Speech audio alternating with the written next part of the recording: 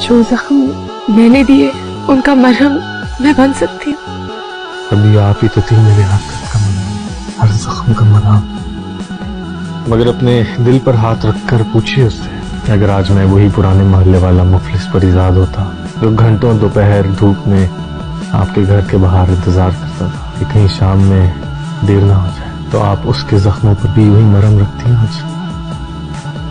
मेरा मकसद हर गिज आपका मज़ाक उड़ाना नहीं है। और ना ही आपको कटेरे में डालना। इतना कमज़ोर नहीं हूँ। सच ही है कि आज भी आपकी निगाह में वो नज़र नहीं है तो सिर्फ़ परिजात के लिए। किसी नौ दौलती के लिए नहीं।